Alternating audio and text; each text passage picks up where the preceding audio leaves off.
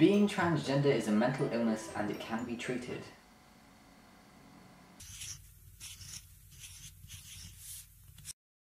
Hey, it's Jamie. In today's video, I'm gonna be reading out some transphobic and mean slash hateful comments that have been left on my channel, my videos, a video about me on YouTube. I have to admit, when I first joined YouTube, a dislike would upset me a little bit, and certainly kind of mean comments and comments that were intended to be hurtful and transphobic did get to me quite a bit, but now it's like nothing's new.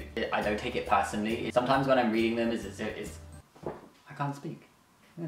Sometimes when I'm reading them, it's as if they're not about me. It's just words that somebody's written down, but they have no meaning to me. So I thought what I would do is embrace the hate and turn it around and make it into something entertaining, hopefully a little bit funny, and just read out some of the ones that are like works of art, you know? Some of them are real gems.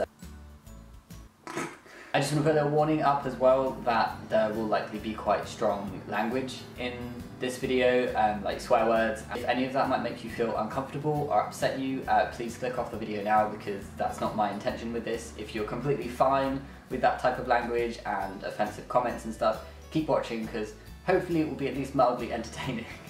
okay, let's go. Okay, I found one. Fucked in the head, dickos. Okay. Please grow a penis.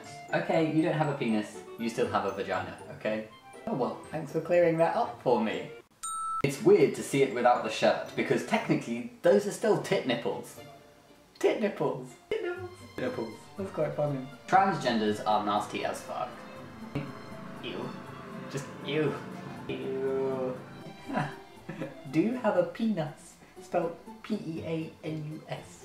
Penis. That, is that like a spelling mistake or does peanus actually mean something? Ooh, ooh, it's on the Urban Dictionary. Okay, peanus.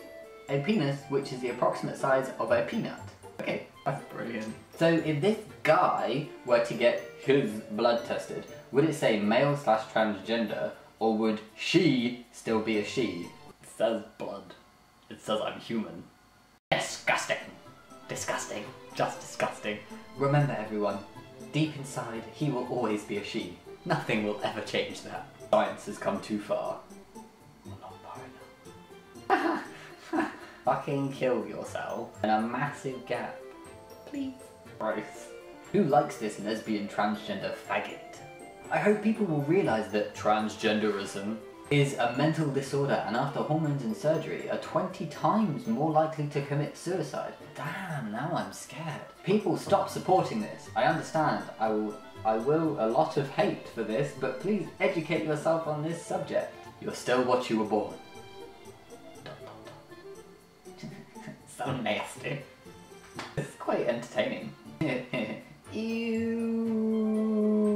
Wait, does that make her girlfriend a lesbian? No. All this did was make me not trust people even more. Sick. I know this is weird, but do you still have a girl's private? Girl's private what?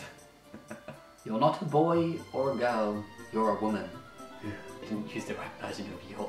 So, does she got a penis? So much wrong in one question. You are a girl!